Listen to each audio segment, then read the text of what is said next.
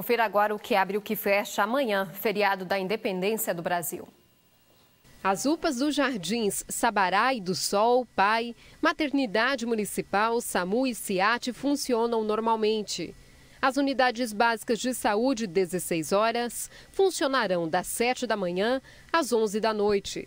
Estarão fechados no feriado as unidades de saúde 12 horas, a Policlínica Municipal e o Centro de Especialidades Odontológicas. As feiras livres e noturnas serão realizadas normalmente.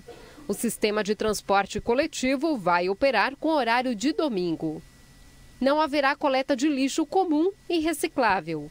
O prédio da Prefeitura, os setores administrativos da Coab e da CMTU, a Biblioteca Municipal, o Museu de Arte e demais secretarias não terão expediente no feriado.